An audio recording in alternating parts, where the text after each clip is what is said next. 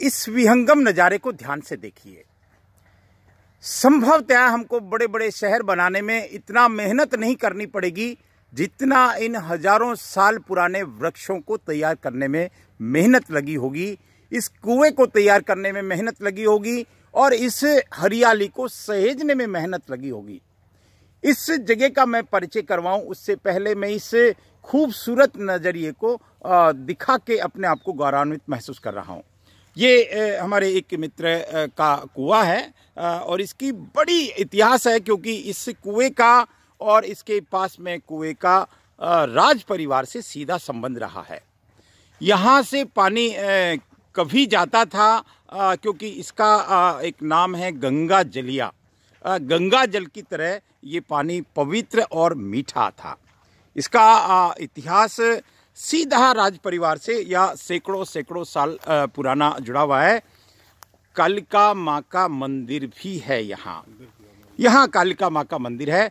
मैं मंदिर के, में के दर्शन करें, उससे पहले इस इस विहंगम नज़ारे को, क्यों क्यों, हम जिस पर्यावरण की बात कर रहे हैं, जिस हरियाली की बात कर रहे हैं, या जिस परेशानियों की बात कर रहे हैं, उसका सबसे बढ़िया समाधान ये बड़े बड़े वर्गद और पीपल के वृक्ष हैं।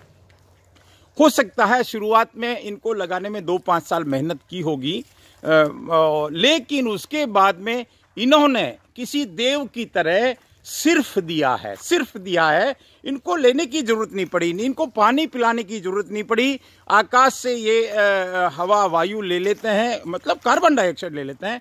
इस विहंगम नज़ारे को आप देखिए, इस देखिए, यहाँ पूरा ग्रामीण परिवेश दिखता है। वैसे तो ये सिरोही शहर का नज़ारा है, लेकिन यहाँ गौ माता है। गौ माता की सेवा है। एक वो कुआ है जिसका संबंध सैकड़ों सैकड़ों साल पुराना। इस कुएँ को ज़रूर हमें देखना चाहिए साहब। ये ये हमारी धरोहर है और ये जिस तरह से बनाया हुआ है, देवेंद्र सिंह जी हैं हमारे साथ में जिनका बहुत नज़दीकी है राज परिवार से इस कुएँ के मालिक वर्तमान में आप ही हैं जो इसको सहेज रहे हैं। भले ही इनकी आस्था कॉलेज चलती है, भले ही ये संसार की दौड़ में बराबर दौड़ रहे हैं लेकिन ये इस अपनी जड़ों को जड़ों को ज़मीन के ऊपर रखते हैं। मैं इससे विहंगम नज़ारे को दिखा के अपने आप को गौरवान्वित महसूस कर एक सघन छाया। अब का यहाँ महसूस करते हैं कि यहाँ टेम्परेचर रूटीन टेम्परेचर से कम है। सिरोही में पावागढ़ वाली महाकाली का बड़ा प्रभाव है। लोग मानते हैं यहाँ के महाराजा मानते हैं। लेकिन पावागढ़ वाली महाकाली के मंदिर यहाँ इस कई कुओं पे हैं।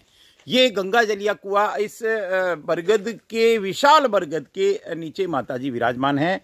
हम माँ के दर्शन करें साक्षात पावागढ़ वाली माँ, जिनको जो अपनी स्वेच्छा से यहाँ पधारे थे। हमारे साथ में इन्हीं के भक्त हैं देवेंद्र सिंह जी, जो इस कुएँ की देखरेख करते हैं। देखरेख मीन्स के मालिक तो माँ ही हैं लेकिन इनको ये ज़िम्मेदारी दी है माँ ने। हम माँ के दर्शन करें, भावपूर्ण दर्शन करें।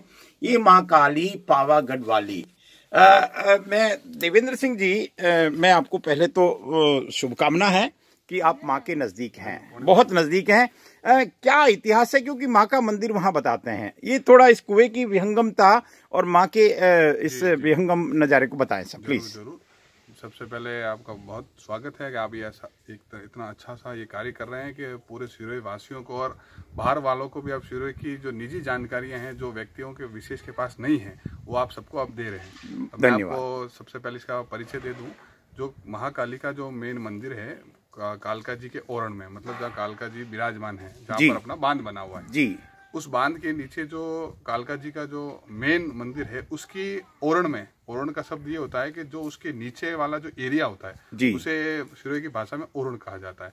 उस हाँ। उसी के नीचे वाले भाग में जितने भी कुएँ हैं तो पुराने स्टेट टाइम के जो थे राज परिवार के समय के जितने भी कुएँ थे उसकी इसकी विशेषता ये आपको देख के लग रही होगी जितने विशाल बरगद हैं उससे ये लगता है कि ये पौराणिक है पौराणिक है। सत्य है सत्य हाँ, इसके ओरण में जितने भी मंदिर थे इन मंदिरों पर माता जी का बड़ा ही चमत्कारिक प्रभाव रहा है।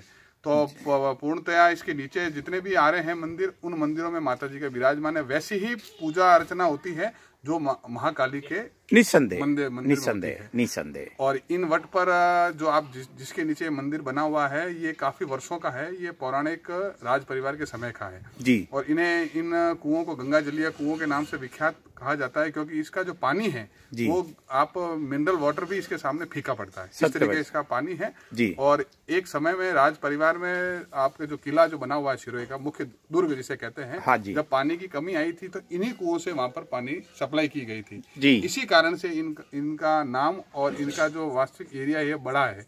और इसकी जो सड़क मुख्य मार्ग जो है वो हाँ। अन्य मार्गों से काफ़ी ये ये चौंकाने वाली है। ये चौंकाने क्योंकि स्टेट टाइम के सारे थे। अच्छा इसमें कुएँ के अंदर भी, भी आपने जब देखा होगा कि जो इसके ऊपर जो पौंड बनी हुई है हाँ जी। वो अपने आप ईंटों को कंबाइन करके बनी हुई है। और इसकी ईंट के आकार और इसके कंबाइन को देखते हुए ये कला पौराणिक है। अभी वाले व्यक्तियों में ये कला ये नहीं, नहीं है नहीं है पुराने में रही है। जी जी जी। और ये इस वट के नीचे मंदिर बना हुआ है बड़ा ही चमत्कारिक मंदिर है। अब जब से हमारे हाथ में ये आया है मेरे तीसरी पीढ़ी का हूँ मैं जी। वंश में और इसकी पूजा वगैरह हम करते हैं और पास में ही सेंट पॉल के बाहर रहते हैं और जब भी समय मिलता है गौ माता यहाँ रखे हुए हैं। हाँ जी जी। सेवाएँ होती है और ऐसा लगता है कि हम सिरोही शहर में भी हैं और सिरोही गाँव में भी हैं। और पूरा तरीके से पौराणिकता में हम लगे रहते हैं और जितना हो सके ऑर्गेनिक खेती भी कर रहे हैं और जितना हो सके लोगों में संतों का भी आगमन रहता है आप बता रहे थे बराबर चंदन गिर जी और जी जी काफ़ी संत पधारे हैं कई संतों का यहाँ पे सानिध्य रहा है। हाँ। तो इस वट की विशेषता है कि ये लगभग दो बीघा में ये वट फैला हुआ है। हाँ दो बीघा ज़मीन हाँ, आपने बरगद को दी हुई है। है। जी मतलब जी। जी इसमें आप ये देखिए कितने जंतु इतने इसे गर्मी के सीज़न में आसपास कोई भी फल नहीं पकते हैं। अब आप इन चिड़ियाओं को इन पक्षियों को आप क्या देंगे? क्या देंगे? क्या बात है? अद्भुत अद्भुत जो तीन ही ऐसे वृक्ष हैं जिनके ऊपर प्रकृति ने अपने आप उनको फल दिए हुए हैं। वो है पीपल पाखर और वट।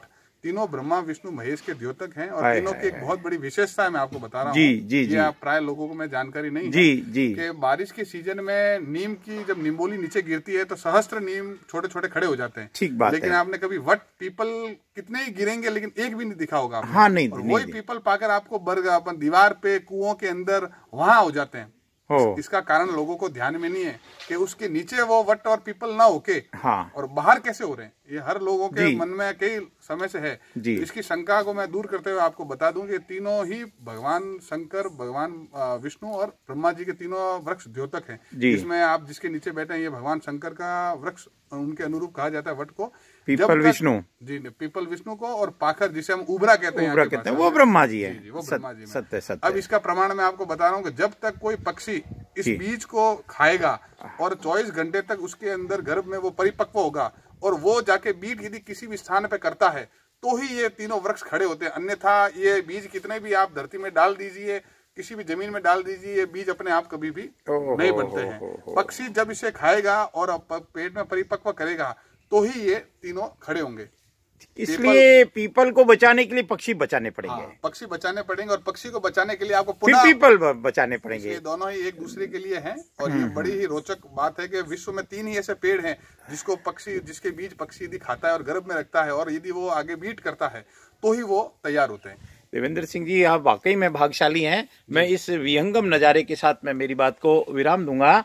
लेकिन आप ज़मीन से जुड़े हुए हैं। ये इसी को ज़मीन से जुड़ना कहते हैं यहाँ आप भले ही आप कॉलेज के कार्यों को निपटाते हैं संसार के जो भी जो भी सांसारिक जीवन है धर्म है उसको निपटाते हैं लेकिन माँ की शरण में आते हैं और हम मिलके एक बार कालिका माँ की जय बोलेंगे।